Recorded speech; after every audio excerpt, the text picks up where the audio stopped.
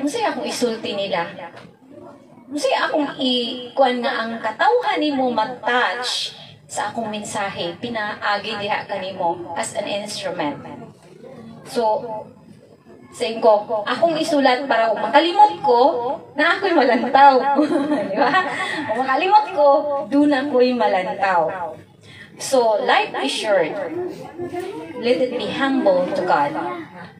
So, kung life is short man, kung kining kinabuhi nato, mubo man siya, So, in Hebrews chapter 3, verse 13, If you hear my voice, harden not your heart. No? So, unsa man na, kung makadungog mo sa akong pulong, ayaw pagahia ang imong kasing-kasing. So, gitawag kita, chance. No? Unsa pa? Baguhan na imong kaugalingon. Ayaw na pagdugay-dugay. No? Muna ang tawag sa Ginoo. And God calls us, ang Ginoo nagtawag ka nato for realignment. No? Unsa may atong i-realign?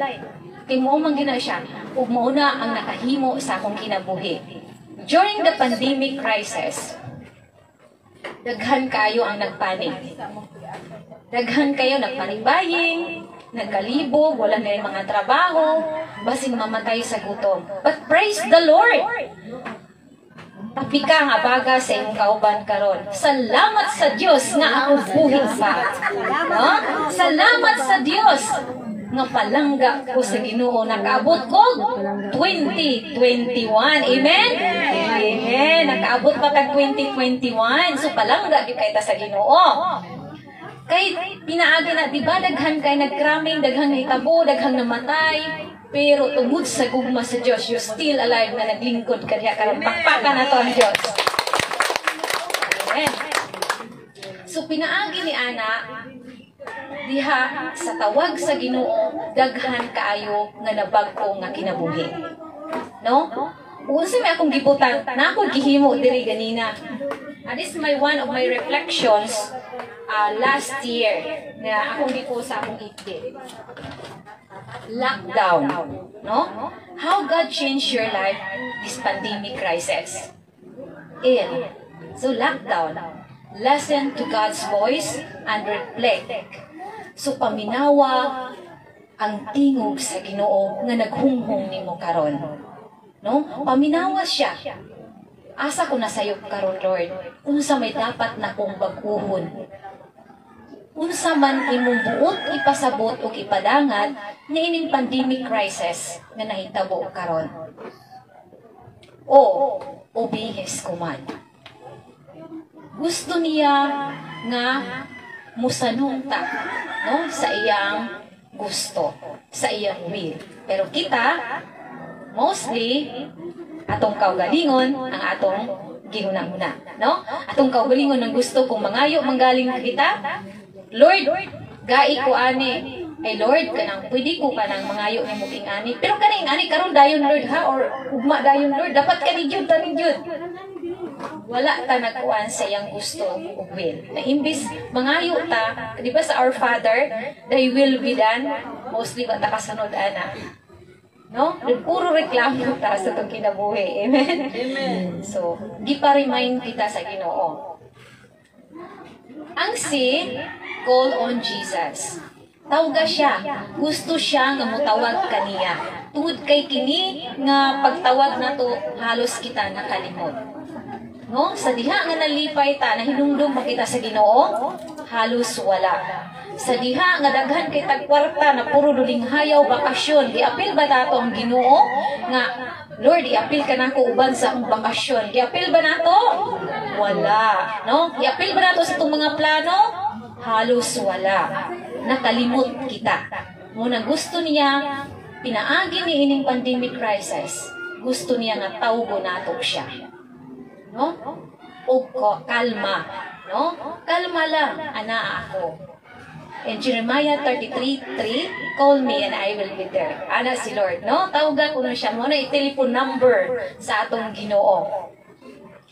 Ski, know what is the purpose. So naay purpose ngano nga nahitabo ang crisis. Ngano na lockdown kita tungod kay niini makapamalandong kita kung unsay purpose sa atong kinabuhi. Unsa man purpose nato? Nganong naaman ta di ani karon? Your purpose, my purpose, and God's purpose is to know Him, makailata sa iya, to love Him, ang to serve Him. Amen? Amen. Muna'y gusto niya. Pero nakalimuta, hi baby, nakalimot kita no ngano nga naa ta karon. Nakalimuta kung unsay purpose nato. So di, dwell in His presence. Gusto siya nga mopuyo ka sa iya ng presensya. Pero, tungod sa pagkabisi sa mga tao, wala na. No? Ang ang Sunday gani, nahimo na lang nga, ah, madto lang ko, unya mo drop by, himong drop by. No? Kung ka og simbahan, kinahanglan siya, gid imong purpose nga atuan. Dili kay, ay, mangumpras ako daan, mo drop by lang ko dito. Ayaw. Bisan kita dili angay takos makasasala kita. Let it be presentable ng mga tuto sa Ginoo. No? Example, sa sanina, ah, magkarsumis lang ko daan ron. Mag, kuan man ko daan, sexy kay ko, kay mato mo kong merkado ron, kuan man ko mag-shopping. Simba ka pag human shopping. Ayaw, ilain si Lord ilain ang para sa Ginoo para malipay ang atong Ginoo. Muna yung giingon nga na kanus ba ko nimo gihatagag panahon enough nga panahon nga para nako para nako lang nakalimutan na ko nimo oy sa diha nga nagistoryahay ta giapil ba ko nimo sa imong plano kung mostly ka na mahikalimtan na nato labi na busy kay ta pangita kwarta busy kay tagdula ang mga bata. Inagmata sa buntag, ayaw kalimot, call to Jesus. Thank you, Lord, nakamata pa ko. Salamat sa akong mama o papa, no? Pasalamat kita sa Ginoo. Kung kana nga crisis nga nahitabo karon mo na pagpahinumdum kaniya nga mupuyo kita diha sa iyang presensya. Amen? Amen. Amen. So, ang ang O is offer a prayer. So kinsa man na atong hatagan sa mga pag-ampo atong mga mahal sa kinabuhi. Mag-ampo kita in Galatians 4:6-7, no? Kung bisayon ako, isang at ang imong mga pag-ampo, imong mga problema, imong mga kaguol, isang at na ngadto sa Ginoo, no? Uban sa pasalamat. So, tanan imong problema, kaguol, problema sa kwarta kay wala nang kwarta gid palit og ginamos, no? Mga kabalaka isang at nato sa Ginoo. Dili gina malikayan ang mga problema. Gitang tanan dunay nagkalain-lain problema. Dunay nagkalain-lain nga mga kabalaka, no? Pero atong hinumduman na naa ang Ginoo. No? Di na ako malimtan ang talk sa una, mga 2009, 18, talk Mrs. Nga na siya gikanta nga, Gipangga sa ginoo, hinumdumi ka na higala ko. O, di ba?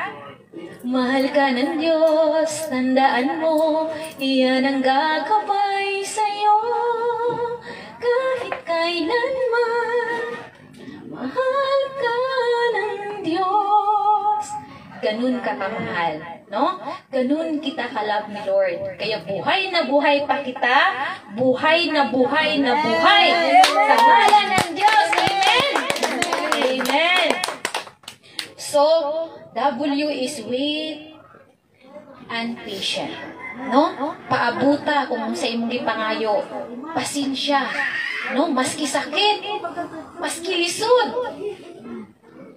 Antusa sa and there will be a greatest blessings for you. Amen? Amen. Amen. And that is my experience. Kitang tanan, doon na tayo nagkalain lang experience. Ang mga kids nato, doon na nagkalain-lain ng mga experience, silang ginikanan, sa ilang pagtubo, doon na sa mga nagkalain-lain experience. Kung muto ko sa akong experience, dugay kay mahuman. Okay ra. Okay ra. May paniod to. When I was a kid, bata pa ko, I used to pray every day. Hindi ko pwede matulog kung walay prayer. I start when I was 3 years old, dapat nag-appeal jud ko o grocery. Rosary and uh, my lula taught me how to pray Latin. No, Latin yun. Kanang 6 p.m., eh, 6 a.m. 12 to 6 p.m. Gitunan ko niya how to pray the Angelos nga Latin. Pero karon nalimot ko kay na English papa naman. Dila na ako malimtan Angelis Domini Annunciabit Maria et Verbotum Carum Pactum et Tobit Tobit This is Santi Muni pagampo sa kanang Angelos. The, the angel the Lord declared unto Mary. No? Oh. So, ginatunan ko sa akong. Kay grabe siya. Gusto niya kabalo siya kog Latin. It is very powerful daw nga prayer. And I used it before. Karon talagsa na lang. so, ing ana ang gusto sa Ginoo, no? Nurture. Patient. Wait. Muna lockdown. No? Wait and be patient. Paabuta. Ang grasya sa Ginoo mo abot ug manuktok sa imong pultahan. Amen? Amen. Amen. And nurture, no? Nurture your relationship to God. I-nurture siya sama sa usa ka tanong. Kinsay hilig man anong ugula? Pataas ang kamot. Ah, ay, hilig kay sila man anong si Soli, no? Tampok kay sa tanan. Dalan ko niya gulay. Thank you. Tapos, ingana, ingana iyang gusto kung nagtanong kag usa ka tanong o bulak, gulay, unsa nga klase nga pagtanong kung dili na mo bubuan, unsay mahitabo? Malaya. Mapatay o malayos. Ingana sad, no? Ang relasyon nato magkalayo ang atong relasyon sa Ginoo. Kung dili nato na in-nurture. Atong gyud ang habukan, atong buuan, ug labi na istoryahan. And that is a powerful nga how to communicate sa ato ang mga mahal sa kinabuhi. Communication is number one. Istoryahi ang tanong. Ingon si Brother Noe nagpanan ko, pinaka the best yun ko no, nga mag-nurture ka istoryahan nimo. Dalang habog, dalang buko, pamulak di mo daghan ha. Kamu mga kuan kanang akong mga kanding o mga yung mga buhi nga mga baboy istoryahan gyud daw niya. Ug tagaan siya daghan kayong baktin. Amen? So kung natin tayo buhi og tanon ato ding istoryahan. Ana ito ito may maingon ako nanay. Nak, naunsa naman gidangan naman ning ako ang mga tanong. Usaon ni nako ito. Nay, pray the chaplet. Istoryahan imong tanong nga kadang manangbok siya, mangunod siya daghan. Then, nak, wala dyo'y bunga ang lubina. Kung paglibot, pagsakripisyo sa usa ka hektar, libutan na diha pag chaplet sa Divine Mercy 7 to 7. At nag-ingnan. Ingon siya, nak, namunga lagi daghan kayong lubi. No? Amen. Praise the Lord. So, tinuod jud ay na, nga namunga man og daghan kayo. Oh, ang sa una 1,000 ra daw yung gikuhit karon 7,000 na. Praise the Lord. No, 7,000 na daw ang namunga. Grabe si Lord. Inana ka powerful na ibasa kinasingkasan ang imong pagpangayo through prayer. No? Kaya siya nga, na, powerful, gidain kayo ang man. So, ano po siya na akong prayer. Siya, na, ano na magiging away sa imong tatay, gamay yung kuan, magsilo, na, gulang naman o, silsilos mo dahil mo. Then, karon ikaw kinanay, pag-pray for good og ka ng kuan, Jesus GMC na pray. So, sa anak, Jesus, Mary, and Joseph ba? Holy Family. Dayon, Angel of God, St. Michael, dayon. I-offer na ni tatay, karon ingon siya, tawag siya, ah, miyaging pangkuan siya. Nak, nak, nak, tinuod dyan yung giingon. Ano man? Ate, hindi na mga way. Praise the Lord! Dili na daw sila mga way. na daw mga way. No, ihatod na daw sila ang asa sa ihatod. Kay katikest man siya. No? So, muna ang lockdown. No? Ang lockdown, usa ka na paghipahinumdum ka na to, nga ang ginoo gusto nga makikomunicate kita kanunay. Kung iban nato siya sa atong mga damgo o mga plano sa kinabuhi. Ug dako kaayo ni nga kahimatmon o kausaban usab